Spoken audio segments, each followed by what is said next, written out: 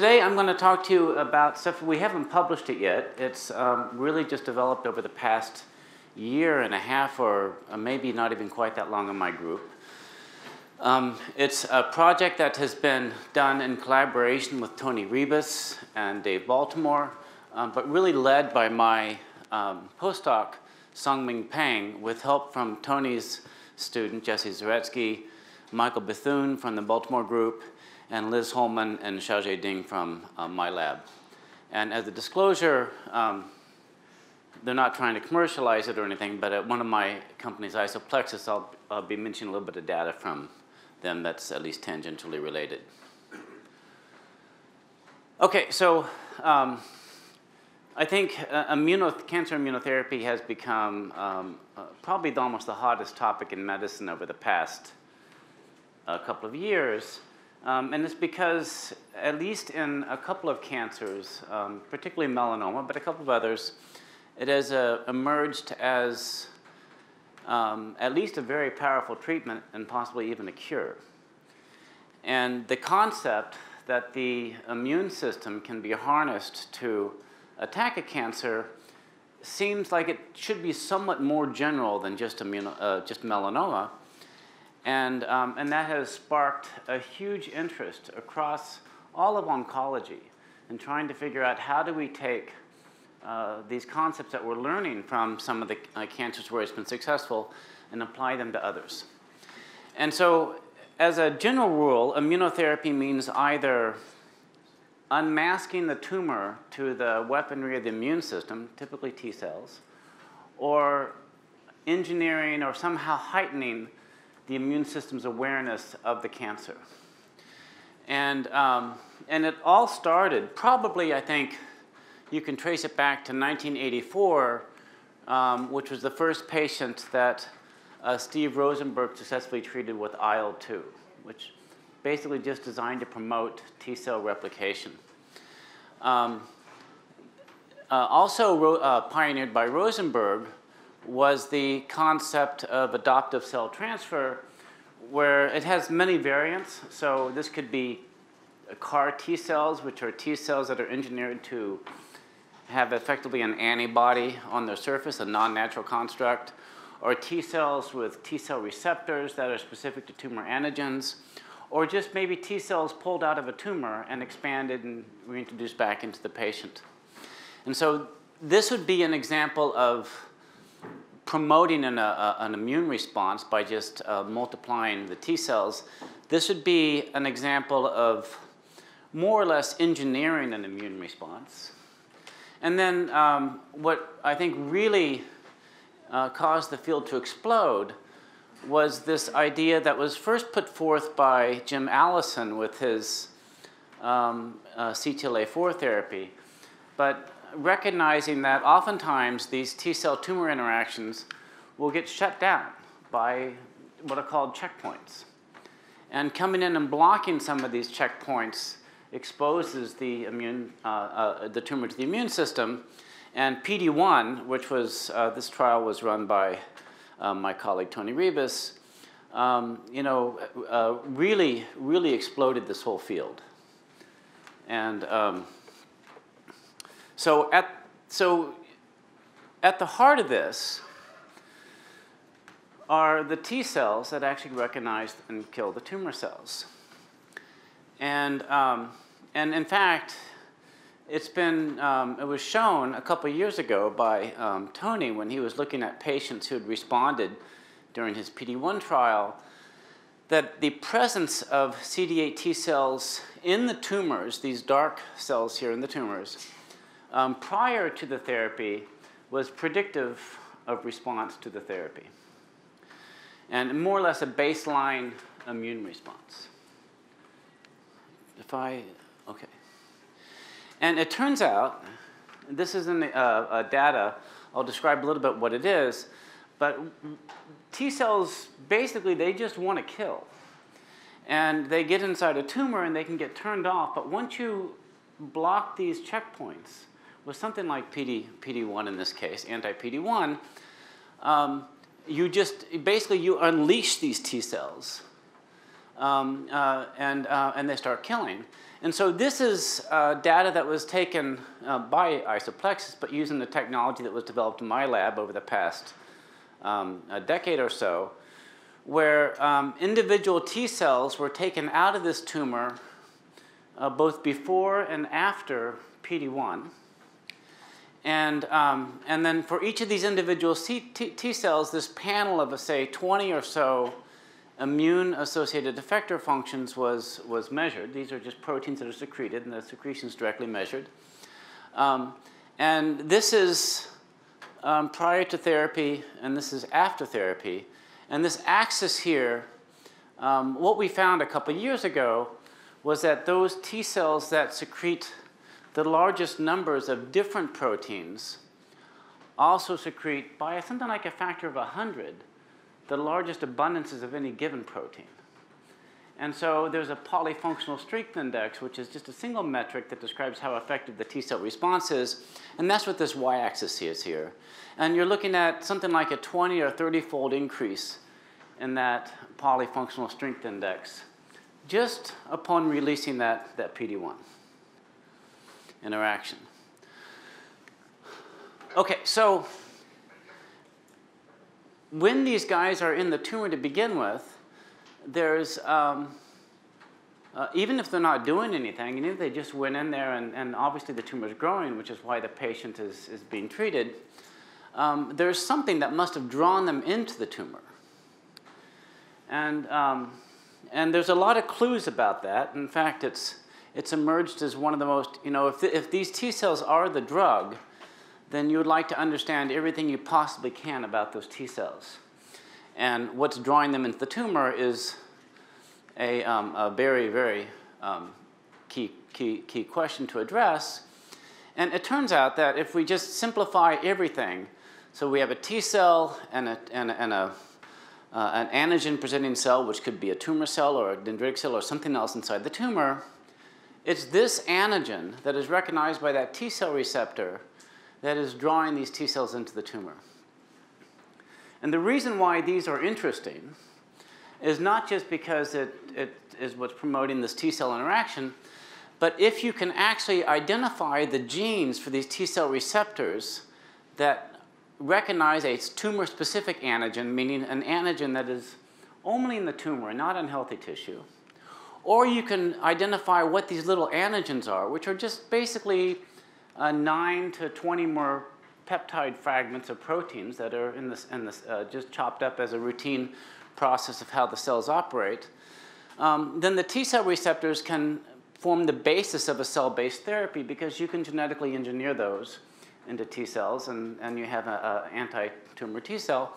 Or the antigens themselves, if they're unique to cancer cells, can become the basis for a cancer vaccine.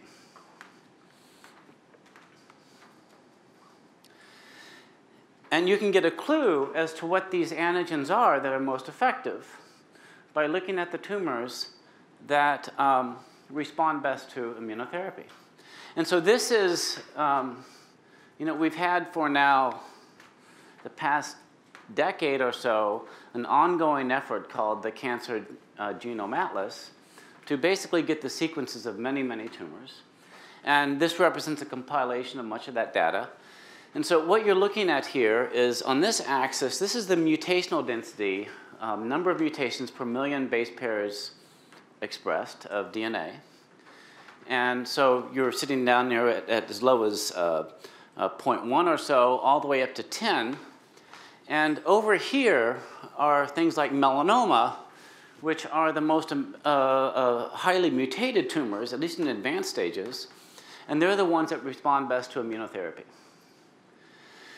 So what that implies is that something about these mutations are drawing the T cells in. And, um, and that makes sense because typically a T cell is not going to attack self unless it's an autoimmune disorder. And, um, and so it's, it's actually being drawn in by uh, mutated fragments from those mutated proteins, from that unstable, genetically unstable tumor. So this would be an example of a, just a, a uh, it's just a random protein that I, I, I, get the structure of, and you might have a mutation right here.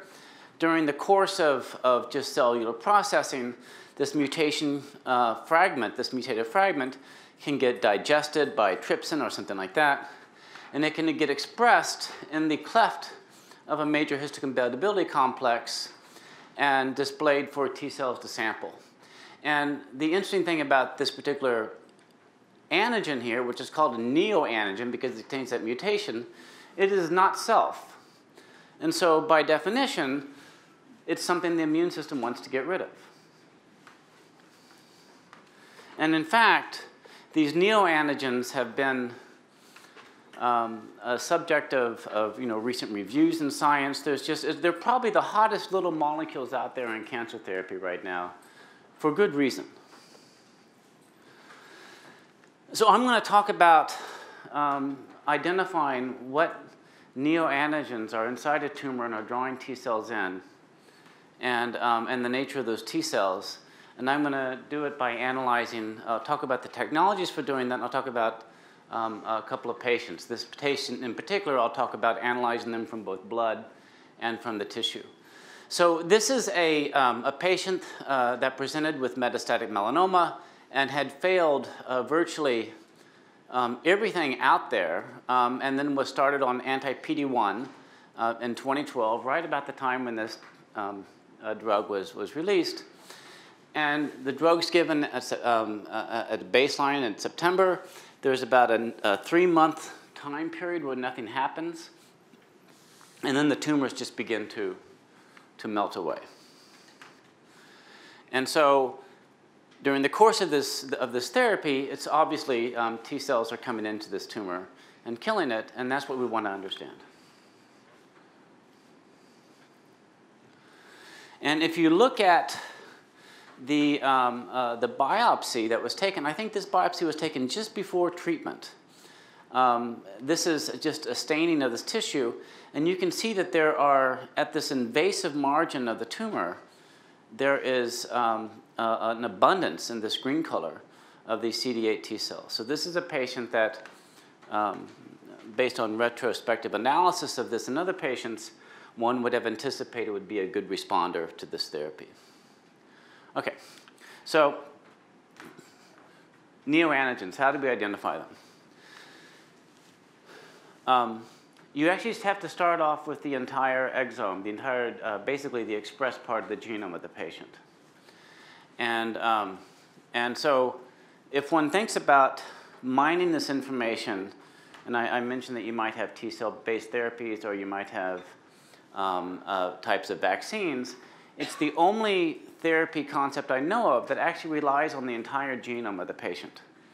And so intellectually, it's turned into a very, very interesting challenge to try to, try to take advantage of this. And so you take the, um, the whole um, uh, uh, exome of the tumor, uh, you compare it against the healthy exome. You identify the mutated proteins.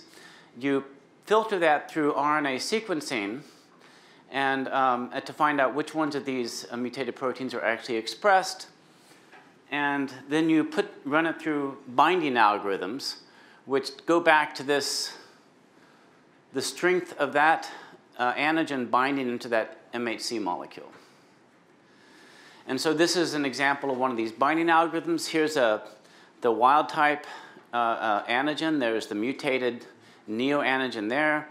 And if you just digest this protein at all different points here, and you look at the affinity, you find that you've got kind of lousy affinities, but down here, you have a neoantigen that has a very, very strong affinity, and that goes onto the list of a candidate neoantigen. And so you will end up rank ordering these in terms of how strongly the antigen the neoantigen and the MHC molecule bind, a strong binder is something that's going to be below 50 nanomolars. A weak binder is going to be something below half a micromolar or a micromolar or so. Um, and so this is just a, more of the analysis, um, uh, identifying the, the, the, the, mutation, identifying uh, what's being um, produced in terms of being expressed, and so on and so forth and you get a list. And so I've, um, in this list here, the only information I provided is the binding affinity, the, the, the neoantigen with the um, particular mutation is highlighted in red here. And you would call this list, this side of the list, mostly the strong binding neoantigens, and this one would be the ones that are, are more weakly binding. Okay? And uh, like I say, this is just a computational analysis, and this what you'd say putative. I didn't know what putative meant. I should know that. I was an English major at some point in my life. it means possible or candidate. Okay? Um, all right. So there's a couple of existing methods that have been developed to try to identify which of these neoantigens are actually drawing T cells into the tumor. Uh, this is the one that's been used most commonly. And basically, you take one of these um, neoantigens and you just make an artificial gene where that neoantigen just expressed inside, a, say, a dendritic cell.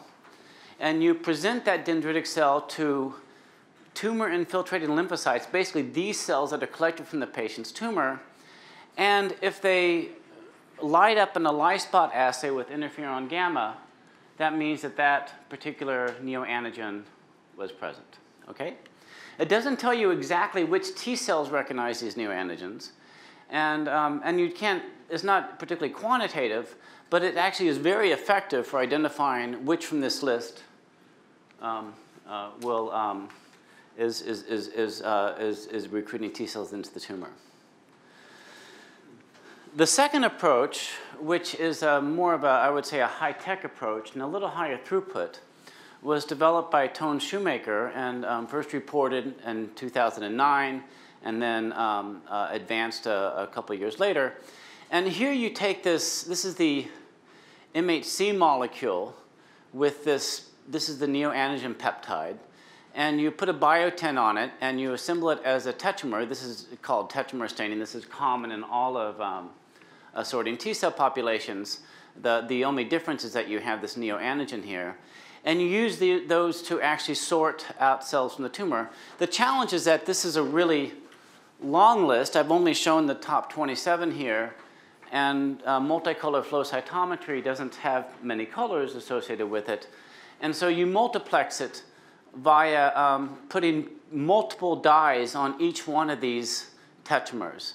And so that allows you with, say, five different dyes to do something like a 25 element tetramer library. It has a multiplexing that doesn't scale terrifically well, but it scales okay. And, um, and so we applied this method to the analysis of T cells collected from uh, that patient that I showed you, patient HM, um, during the response period. Um, and this is the, the matrix of, of, of dyes. The neoantigen identities are these numbers. And, and it's a kind of a, a complicated process, but I'll just draw your attention right here that this particular neoantigen um, was recognized by this, by this process. And so this process has typically been used to, it, it, looks like it's quantitative because you can actually identify which, how many T cells are associated with each neoantigen. But it doesn't come up with a very big number of neoantigen specific T cells in the tumor which makes you think that either neoantigens aren't that important or that the method is just not sensitive enough. And I think the consensus is that the method is not particularly sensitive. So this is a technology we developed in my group to address the same question. And, um, and so this is your, your um, major histocompatibility molecule, and it's initially loaded up with an invention from Tone Shoemaker's group, which is called a, a conditional peptide. So when you make this MAC molecule, it'll, it'll just fall apart unless it has a peptide stuck into it. So you, you load it up with this guy, but this has the beauty that you shine light on it and this peptide falls apart. And if you do it in abundance of a neoantigen that will bind in here, then you can load up the neoantigen. So what that means is that I can make one batch of this, I can turn it into a whole bunch of little vials and quickly make a whole library. Okay? And then we take this streptavidin here, and by some gift of the gods, streptavidin has no native cysteines on it. And so you can actually just engineer cysteines exactly where you want them, and specifically put DNA labels onto these corners away from these biotin binding sites where you assemble this, this tetramer. And then we append that to these magnetic nanoparticles that have a, a barcode, a DNA barcode on them. And I'll show you how this is read out in a minute. But once you've done that, then you have every neoantigen is associated with a particular barcode, and then we can mix the entire library together and just use that with a magnetic bead to pull the T cells out of the tumor or out of the blood. And so the way this, this works, this is just with a, a set of cells called um, uh, just a, a, single type of, they're called MART1 cells, is that you, um, you put in a fluorophore that reads uh, one of three colors on this first position, and in this case we, we read a red, and then you displace that fluorophore through DNA hybridization, it all goes dark. You read the second spot, you see a green, it goes dark when you displace a third spot. And so I have a red, a green, and a yellow. And if you look over at this list of 27, I went red to green to yellow. And so with just three reads and three colors, I see 27 library size. And if I have four reads and four colors, it's 256. And you're never going to want to go bigger than that. Well, I don't know. Bill Gates once said you didn't need more than like 64K of memory and so you might want more than that, but, but right now we, we can't imagine why you'd want more than that. Okay, so uh, uh just initially some numbers. So when we, when we make one of these libraries, just the top 27 of these neoantigens, um, we pull out roughly about 5% of the cells from the tumor. That's what these big bars are. These little bars are measurements of non-selective um, uh, pull down. Um, we do a, this is a separate patient, so these are just two separate studies of one patient. This is a separate patient, we get the same number. And when we look in blood, we find that the, um, the counts of these T cells, they're there, they're about a factor of 10 lower abundance. Um, but they're there, okay?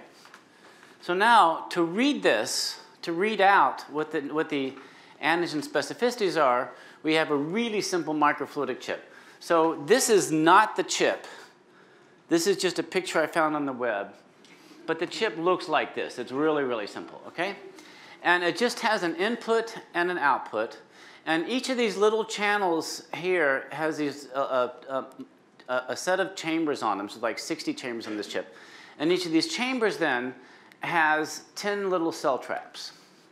And so you flow, you precipitate your T cells, you flow them through the traps, and then you, um, and then this allows you to read them out. So this is an example of one of these traps, and these T cells that are trapped in here, they look all hairy because they're coated with these magnetic nanoparticles.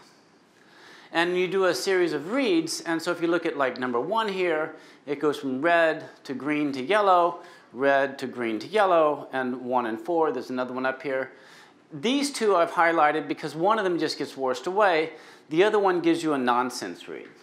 And so you actually get a very, very clean read on these systems. You can tell a non-selective T cell, but you get very, very good annotation of what these T cells are seeing. And so here's an example of analyzing this particular patient. And, um, and what we see is not just one, this is the one that was seen with, um, with the flow cytometry method, but we actually see almost a third of all the putative neoantigens is represented here in, in, in the T cells that are taken from the tumor um, including some that are um, relatively weak binding out here. And so what you're, the, the green and the red here are just two measurements that were done about uh, uh, a couple weeks apart to show the independence that we are able to validate this, this process pretty well. Okay, so when we do this process, we don't actually destroy the T cells, they're fine. And so you can recapture them and I think there's a lot of things you can do with them, but one simple thing you can do with them is just sequence the T cell receptor. And I would say that that's not exactly simple, but um, so I was talking to Lee this morning about this company in China that's going to have us have the ability to do an entire genome sequence for like $400. That does not include the T cell receptor gene. The T cell receptor gene is, is the single hardest gene to sequence. It's because it's, it, it does you know, for those of you who know immunology at all, has this VDJ re, uh, recombination. You have to take like 60 guesses at what the T cell receptor gene is going to look like. So it's not a high yield process, but you can sequence it. And, um, and this is what we've been doing with David Baltimore's group. And then you can clone it, and you can show that it comes back and recognizes the right element. So you close the loop, basically. You identify a T cell, you clone that T cell receptor, and you identify that it goes back and recognizes the neoantigen that you initially thought it would.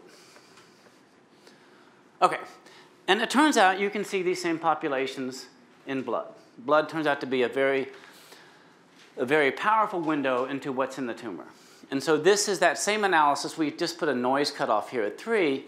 But of all the, so these were expanded T cells from the tumor. And we don't need to expand them for our analysis, but right now, such T cells are a pretty valuable commodity. And so you can't just mow through that such samples, but blood is not. We can actually look at a lot of blood samples. And, um, and so of the ones that we see in the blood, um, seven of the eight that we see in the blood are seen in these expanded T cells. This is probably a more honest representation of what's in the tumor, albeit with the noise cutoff, because there's no expansion here. And so when you expand T cells, you don't know if you're skewing the population or not. And so, so let's think about what this means. So first, it means that blood turns into a very powerful window um, uh, for this. But also, these abundant ones are the ones that one would want to think about using as perhaps a vaccine. And so, if you wanted to design a vaccine for this patient, this patient doesn't need a vaccine because this patient was responding. But this is how you would, how you would define that. And, and the, the, the T cell receptor gene is how you define a cell based therapy. Um, and so, we have this um, the one thing that was limiting us uh, on these analyses is that that little simple microchip I showed you was not a very efficient capturing device for the cells. So I don't know if you can see this, but this is a, a, a chip we've made, uh, actually our, our collaborators at in Korea made it, and this captures now 95% of the cells that we pass through. It's a very, I, I just love these movies because you can just sit and watch them. But here's the T cells coming up, and you'll see they just, they just get sucked into these little channels as they come up. And then once this little row gets filled, they go around to the next row and they get filled. And so you have very easy solution phase exchange here. So you can do all the readouts you want to do, um, but you have much, much higher efficiency capture. Harder to recover the cells for TCR sequencing, but um, that's not necessary when you're doing like a kinetic series out of blood. Okay, so if you do some math here, um, so for these neoantigen-specific T cells from the patients that we looked at, if you go to the top 55 elements of that library and just fish, you find that about 7 to 8% of the CD8 cells in the T cell, in the tumor, are in that group, okay? Now that's for one MHC genotype. And most patients will have four or five different MHC genotypes, maybe six. And so, and they should be equally represented. We don't know that for sure, but they should be equally represented. And so that tells you that these neoantigen specific T cell populations are roughly half of what's in the tumor. It is, it is overwhelmingly the strongest anti cancer drug there is. This is why these people are, are doing well. And that finding is reproducible, at least in these melanoma patients responding to PD 1 checkpoint inhibitors. The same populations are detected in the blood. For sure, this is going to be a good biomarker of therapeutic response or failure, but maybe even more importantly, it means that with liquid biopsies, one can start doing some of this definition as opposed to having to do a, a surgical biopsy to identify vaccines or what have you. Um, CD4 cells also seem to play a strong role here. That's not been quantitated. That's a challenge that I think needs to be addressed in the near future. Um, the other thing that I think is important is that we're seeing lots of these neoantigen T cell populations. And, but we're looking at the easiest cases, which is you know, way on the right hand side of this. But even if we dropped our numbers that we're seeing by a factor of 5 or 10, we're still going to see a couple of these populations. And that allows us to begin thinking about how one can extend these kind of neoantigen-based concepts down to lower mutational burden tumors, such as prostate cancer or breast cancer, or almost anything on this list. And, um, and I think that that's probably the most exciting intellectual challenge. I don't know if it's possible to do that, but it's a, it's a really interesting thing to think about, to take in, you know, the glioblastoma starts off way back here. Once you give these patients temozolomide, they move way up here, they get mutated. But, but you know, in, in relatively early stage tumors, is it possible to make this an effective, an effective therapy? I don't know the answer to that, but I think it's one of the um, most exciting questions to, um, to ask. And with that, I will conclude, and I'm happy to answer any questions.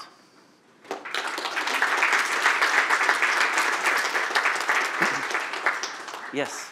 So, Jim, is a good strategy to uh, actively induce mutation to move low mutational to high mutational so that they can have neoantigens and I mean, I recognize Yeah, that's a two-edged sword, right? it's a two-edged sword.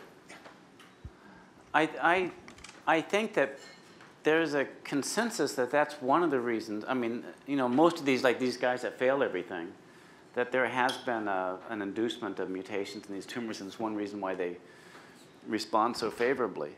Um, but um, yeah, I mean, I think if you want to look at a tumor like GBM, you know, late stage GBM, you'd have a better chance of success than, than early stage Early stage, GBM. yeah. But I, I don't know. It's a scary thing to think about to try to to try to do that. Yes. Yeah, um, Oh, hi. Hi, over here. Oh, Um, okay. I'm curious. I'm I, I do a lot of data analysis. I'm really curious about your uh, uh, how you an, an, analyze your uh, barcoding system for your RNA plex. Like, what type of system do you use to do that? So you mean how did we decide do upon the have, like, neoantigen list, or how did we just how did we look do the barcode reading? Yeah, how do you do the like the data analysis for the barcoding? Well, so that's pretty simple. So we just flow through um, uh, these these. Uh, um, go back and, and show these. Okay, um, show this picture here. So, so each one. So position one can be red or green or yellow or blue. Depends on uh, whether it's fourplex or threeplex. And we just have complementary DNAs with fluorophores on them. And so it's all just imaging. So that process is very, very fast. Deciding upon what this library is is a little more involved, and there's a lot of um, groups now working on trying to come up with better um, neoantigen prediction libraries. They're very data starved. I think the kind of data we're generating is going to help make those libraries, make those algorithms better. Um, anyway, but this process is, is simple. You just look at it, basically. Yes? yeah, can you go back a, a slide or two? You uh, keep going back. There's a chart I wanted, I had a question for you on. Right here. This chart. Why do you think there's a lag in the in this days of therapy here on the far on the bottom left? Why is there a lag? What is do you know what's going on there? So I think the initial I can I can give you an answer based on other immunotherapies that I've been involved with. So before when immunotherapy was a backwater and wasn't working, we were doing analysis of patients where you engineered T cell receptors to recognize tumor antigens, not mutated antigens. They were still self-antigens, but they're tumor antigens. And you put those in the patient. And what you found is that you gave them is one very specific T cell with a specific T cell receptor. What you found is over time, many T cell populations that were anti-tumor emerged. You had what's called epitope spreading. And so in other words, your initial therapy only catalyzed the tumor killing. And then your immune system takes that to more robust levels. So I'm guessing you don't have very many T cells in the tumor when this starts. You have some, but not many. And you release that checkpoint, and now you've got to kill some cells, you've got to present new antigen, you've got to generate new T cell populations. And I'm guessing that that's Okay. that time lag, which is actually kind of seen a lot. Okay. Just kind of curious. Thanks. Oh, I I actually had two questions. So. you can only you can only ask one. You've got to oh, oh, prioritize. oh, okay, so so I'll ask the the second one then. Um, if uh, 64 kilobases of memory is not enough, um, would you think about doing this with sequencing as a readout instead of hybridization, where you could do unlimited uh, libraries in terms of number? Yeah, if you could, um, we thought about that, and, and the, the advantage of this method is it is such a clean read. And when we put up, you know, when I put up these charts, I put up numbers per 1,000 T cells, but that's because we only measured 1,000 T cells. And so that's actually the, we saw t- 10 of these guys, which is statistically significant because it's a good read. And I think with, you know, with, with PCR processes, it might get, you might be sacrificing some of that and you might have a, a little less of a, of a linear representation of what you're actually capturing.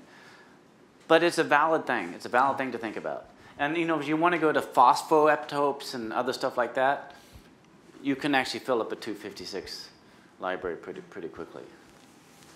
Thanks.